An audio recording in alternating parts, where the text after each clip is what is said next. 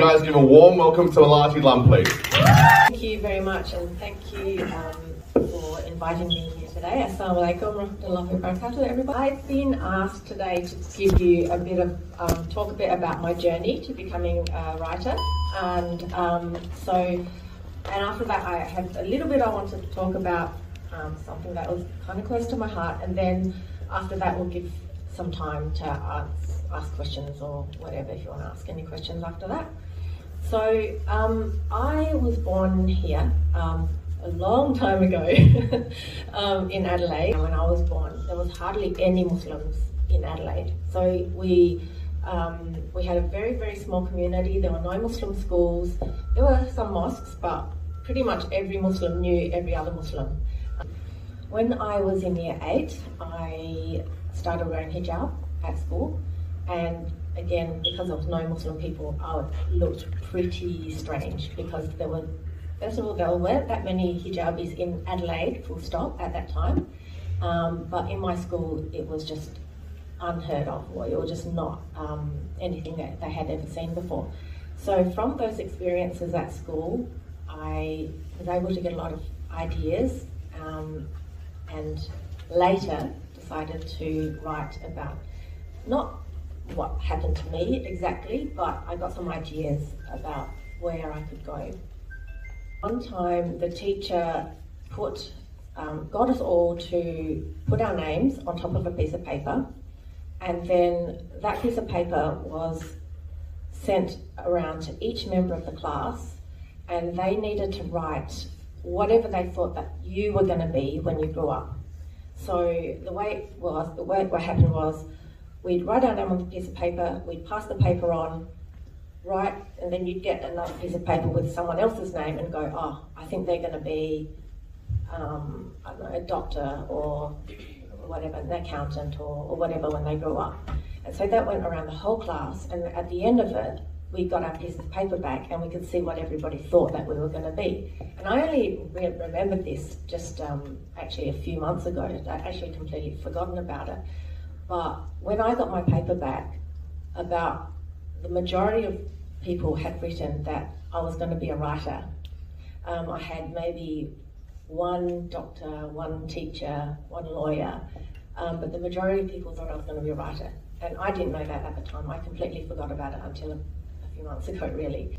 When my son got I was around 10 years old, I think I was trying to find some books for him to read. I wanted to find some books where there was Muslim um, characters, um, and I was trying to find um, books that weren't educational books, that were just kind of books that he could read for entertainment, that showed him or that he could relate to, um, and that he could actually enjoy. But I actually couldn't find that many um, for his age group. So then I kind of I just, I, because I was a reader and I always loved reading from when I was a kid, I kind of thought, well, maybe I'll just look back to one of the books that I used to write, like reading as a kid. And I used to like reading this detective series called Nancy Drew.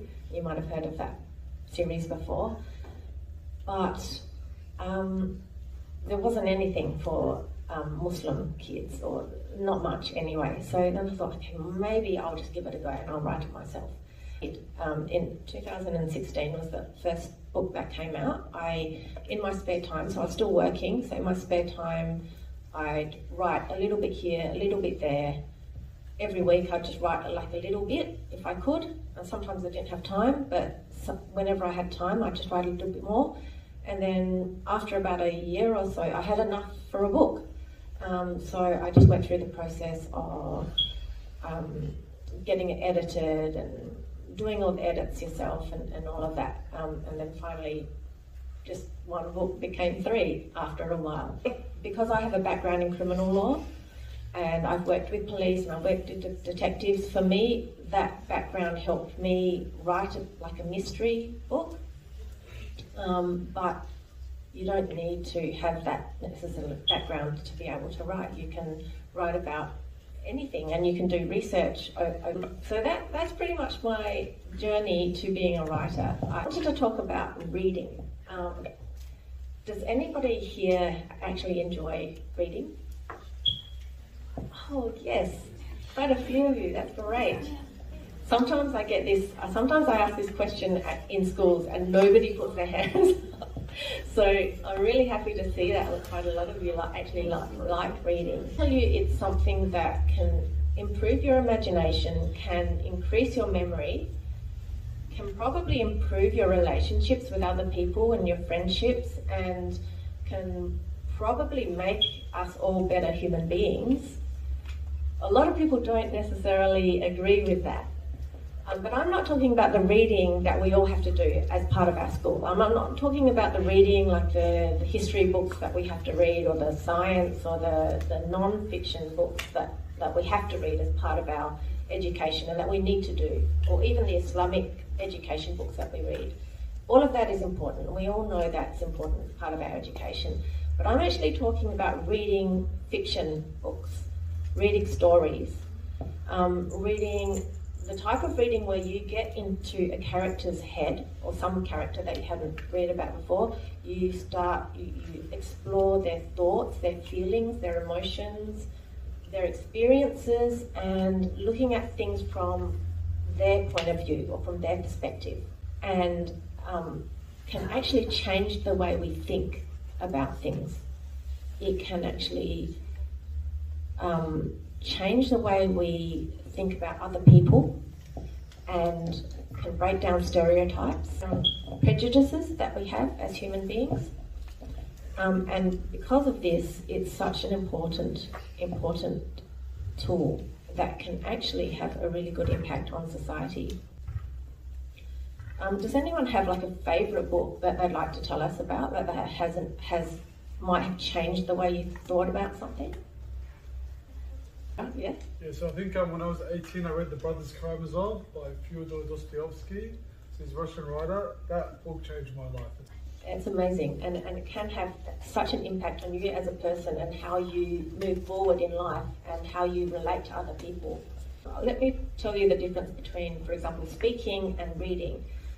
When you put a baby in, in a room full of people, after a while they will just naturally learn how to speak it's um, most people naturally learn how to speak just by being surrounded by speaking people. But if you put a baby in a room full of books in a library, they're not going to automatically know how to read. They, they're going to have to learn how to read. Reading requires your brain to work harder. It, it actually requires you to think about different things and create different pathways in the brain. Um, but when you read about a new character, a new place, new emotions, or new different ways of thinking, your brain is actually picking up new pathways that hasn't it hasn't experienced before.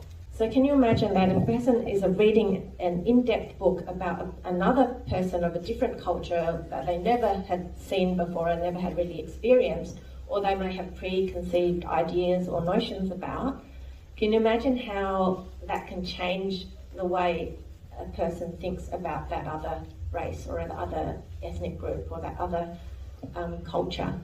It is really powerful. A lot of people say, you know, you've got this brain that's engaged when you're reading, and then you can, you know, live those experiences through reading. But well, we've got movies nowadays. Like, why can't we just watch the movie? Um, Does anyone have like a preference between movies? Who, who prefers movies over books? Well, that's that's pretty good. I mean, I wasn't like I have been in classes before where there's absolutely nobody puts their hands up for preferring books over movies. So don't you see this is really encouraging. I'm not saying movies are bad. Like it's, it's really sometimes great to watch a movie. You can just sit there and not have to really think that much. I mean, you do have to think sometimes with plot lines and everything. But the difference between movies and books are that when you watch a movie, it's very passive. Um, it's passive entertainment. You're sitting there, the, the images are being fed to you, so you don't actually have to think much about what you're seeing. Whereas when you're reading a book, you have to, all you're seeing are words on a page, so your brain has to work a lot harder to fill in the gaps, and your, your imagination has to be activated it's important to, for us to be able to kind of engage our brain, you know, and it's like working our muscles. Um, it's like when you want to work out, when you want to build big, strong muscles, you need to work them out, right? So it's the same with the brain. The more that we engage it, the more that it can help us to to do whatever it is that we want to do and help increase our intellect. It also helps us to de-stress, which is the opposite of um, what happens to the brain when we're watching TV. Um, for your book, like, what inspired your character? Was it just yourself, or was there other things that inspired the characters with? Um, it's not based on me because I don't think I can, like I'm, I'm not like exactly like Aisha because a lot of the stuff that she does I wouldn't do and I would be too scared to do. but, um, but there are some things that I do relate to and also some of my friends who've grown up, um, you know, as kind of in a, in the minority uh, position have um, experience. So I take a, a, bit from some of my friends, some of some of my experiences, some of um, everyone else, and I've kind of mixed it together to make Aisha. On the frame, the comic books have the same effect on the normal reading. Oh, I'm not actually sure, but I, I think it it, it depends. Probably depends on the comic book, and the probably. Um, I don't know, maybe one of the teachers might know this one better more than me. I mean, it's got words. It's got words. I'm sure the language portion of your brain will be uh, activated. You've got the, the photo there that um, your imagination is probably doesn't have to be activated as much, but it's probably still got some benefit. What inspired you to Uh, law, I I think what it was was when I was in year 11 or 12, I can't really remember, I think it was year 11, I studied legal studies. I, I chose legal studies as one of my electives, and I actually found it really interesting. Part of that, um, part of that uh, legal studies, or one, one time we did a, um, we had an excursion to the courts in Adelaide, and so we were able to see the different. There's a, a place where you can sit at the back of the courtroom and you can actually see the cases that are being heard in court. So we did that, and um, and I think that just kind of interested me. So I thought I'll study that. Um, since the kids are all just asking about your lawyer job, I'm going to ask about your books. I'm sorry if we answered this when I walked out before, but can you give us like a little summary on your main character and just what your books are about? Um, so Aisha Dean Mysteries. Um, Aisha Dean is a young Australian Muslim girl who um, she loves solving mysteries, basically um, and she loves travelling. So the first one is called the Istanbul Intrigue. She travels to Istanbul, um, finds a mystery there, solves it, and then she moves to Seville and lives. The, the first one's targeted at a younger audience, so 9 to 12. For this age group, I'd probably suggest the last one, which was a Lisbon Lawbreaker. Um, and it's um, all of the places that I have visited myself before, and, and I've loved all of these cities. So I thought it would be really lovely to set um, something that, you know, set the story somewhere where I've been before and someone that I can actually describe. Um, how long does it take you to write each book? I can only write a little bit at a time. So I think the first one is the um, the first one is the smallest out of all three.